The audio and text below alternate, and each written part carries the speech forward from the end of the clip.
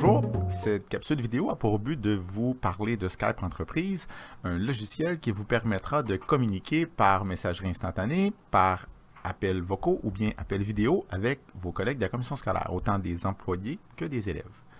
Euh, ben, tout d'abord, parlons du statut et de l'emplacement. Ce sont deux informations qui vont euh, être synchronisé avec ce qui se passe dans votre agenda. Alors, si j'avais eu en ce moment, à cette plage horaire-ci, un événement dans mon agenda, j'aurais été automatiquement occupé, mais j'aurais pu quand même là, décider d'outrepasser ces informations-là qui proviennent de mon agenda pour changer mon statut. Même chose pour mon emplacement.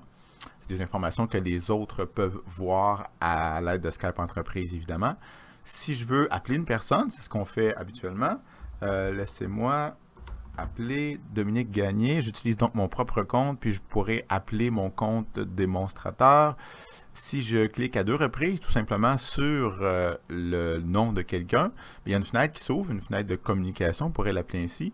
Euh, et je n'ai qu'à écrire au clavier pour lancer une communication de clavardage. Je vous montre qu'est-ce que ça donne si l'autre répond. Donc, euh, on a, puis je pourrais descendre cette fenêtre-là, puis aussitôt que l'une des deux personnes continue la conversation, c'est comme les textos sur nos appareils mobiles, c'est vraiment du texto. Euh, si je veux ajouter une personne supplémentaire à notre conversation, que ce soit une conversation par messagerie instantanée ou bien par appel vocaux ou par appel vidéo, c'est la même chose. Mais parlons-en de ces deux autres façons de communiquer. Si j'appuie sur le téléphone ben et j'appuie à nouveau sur appel Skype, ça va lancer une un appel. Donc, l'autre personne reçoit une notification à la fois vocale avec un son et puis euh, c'est visible sur son écran. Laissez-moi accepter. Donc, sur l'autre écran, ça c'est pas une bonne idée dans le même local, hein. je vais accrocher tout de suite.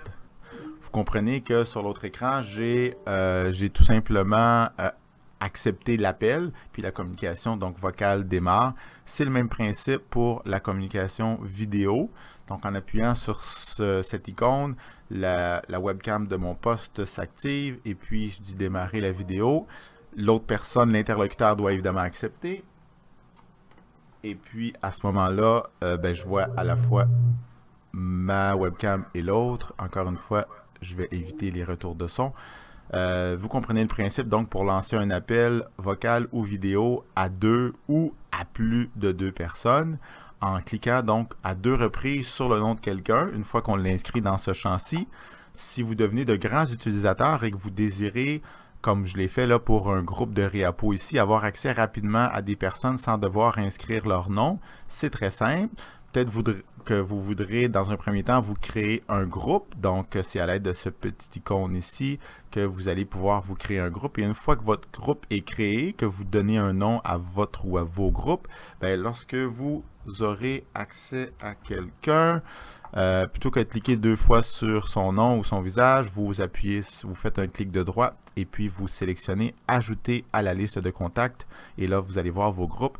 Et c'est de cette façon que vous pourrez rassembler donc des personnes à qui vous désirez, là, avec qui vous désirez communiquer un peu plus fréquemment. Bref, c'était... Euh, il y a deux, trois autres fonctionnalités un peu plus poussées, comme partager son écran et tout. Euh, je me garde ça pour une prochaine capsule vidéo. C'était donc euh, Skype Entreprise pour nous permettre des communications majoritairement synchrones, des appels vidéo et vocaux, ou bien des communications asynchrones qui sont un peu différentes du courriel par messagerie instantanée. Donc avec Skype Entreprise qui s'installe en passant aussi sur nos appareils mobiles, tout à fait gratuitement comme sur nos ordinateurs. Merci, à bientôt.